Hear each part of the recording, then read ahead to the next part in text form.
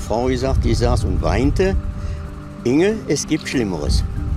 Also ich trage das, ich bin versichert und ich denke, dass das alles in Ordnung geht.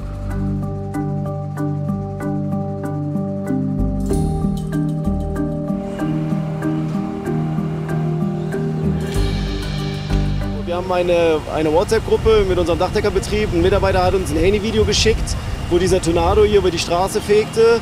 Und äh, ja, da habe ich schon nicht Gutes geahnt und äh, daraufhin äh, habe ich äh, alle Mitarbeiter, un unwissend, ob wir, ob wir hier Abhilfe schaffen sollen, ähm, angeschrieben, dass sie doch bitte kommen mögen, äh, weil ich geahnt habe, dass hier heute Abend äh, ja, noch ein länger Aufenthalt stattfinden wird.